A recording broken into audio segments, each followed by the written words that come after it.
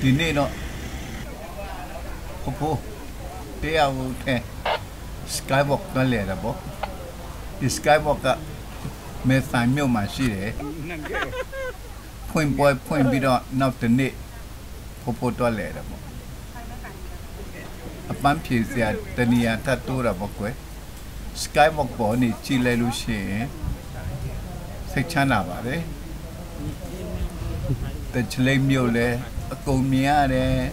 မဲဆိုင်မြို့လဲမြင်ရတယ်တွေ့ရတယ်ဆောက်လုပ်ထားတဲ့မန္တရာကြီးကလည်းလက်ပခိုင်ခန့်တော့ဗျာတကယ်လို့မန္တရာပေါ်ရှောင်းမှာကြောက်တယ်ဆိုရင်အောက်မှာကျင်းနေဗျာရှေ့တဲတဲ့ကိုကြည့်နော်